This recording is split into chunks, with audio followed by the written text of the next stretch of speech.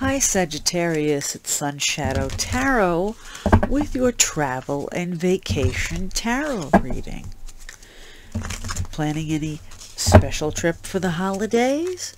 Let's see how it's going. Let's get into it. Your first card is Four of Cups, Queen of Pentacles, Hangman, Ace of Pentacles, the Emperor, Seven of Swords, Ace of Cups, Three of Cups, Two of Pentacles, King of Wands. Okay, very interesting.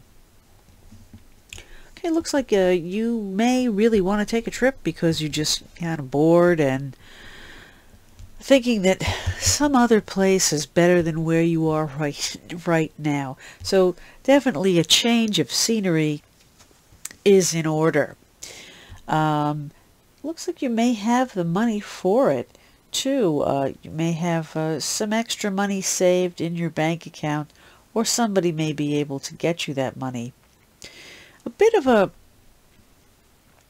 uh, maybe maybe a bit of a, a hang up about uh, getting maybe perhaps time off from work to do this.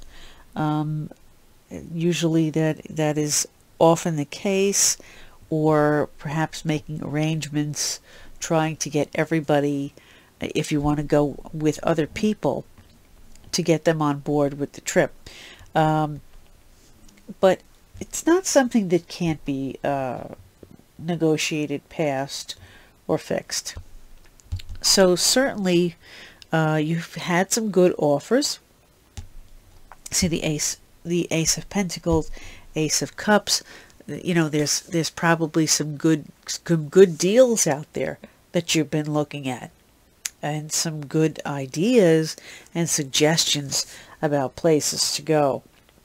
I would say that, you know, between the Queen and the Emperor and the King here, looks like, you know, you've definitely got some really good planning going on uh, some good solid ideas and suggestions.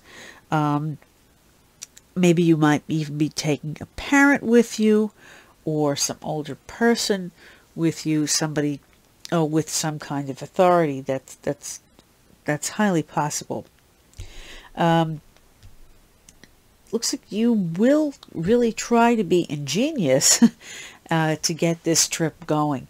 Uh, you may have to, you know, borrow a little time. Maybe you're switching time at work, uh, taking uh, some extra, borrowing some vacation time, or or maneuvering uh, to get this to get this going.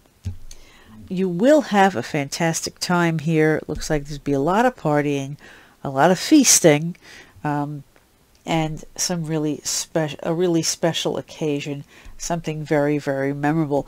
Again, here you're really balancing out, you're just really trying to make this happen.